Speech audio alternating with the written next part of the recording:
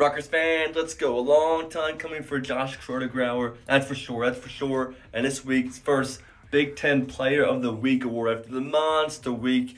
UNC and Delaware, Josh Grauer is your Big Ten Player of the Week. Let's go. Keep rolling, Josh Grauer, and let's go, Rutgers.